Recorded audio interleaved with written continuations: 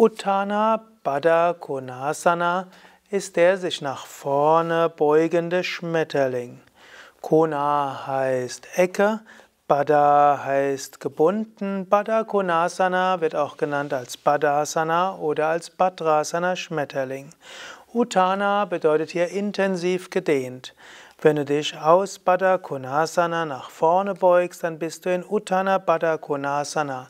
Gerade wenn du in Baddha Konasana die Knie fast unten hast, dann kannst du dich nach vorne beugen und so noch mehr tun für die Flexibilität der Hüften.